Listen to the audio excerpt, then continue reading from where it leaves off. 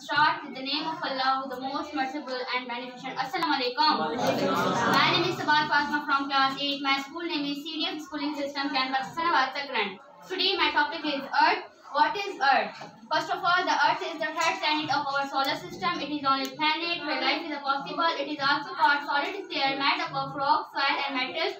It has, uh, Earth's surface is provided with abundant quantity of water. 70% of Earth is water and 30% is land.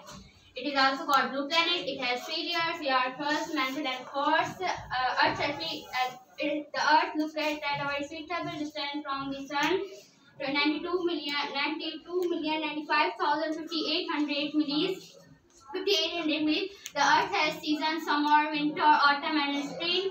Uh, average temperature surface is provided. Average temperature surface is 59 degrees. Uh, 51 gravity is 159 degrees.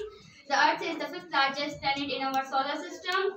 The Earth is the large. Uh, the Earth is thus uh, larger than four planets. Four planets: Jupiter, Saturn, uh, Neptune, and Uranus. Smaller than the three planets: uh, Mercury, Mars, Venus. We should save the Earth because it is our motherland. Thank you.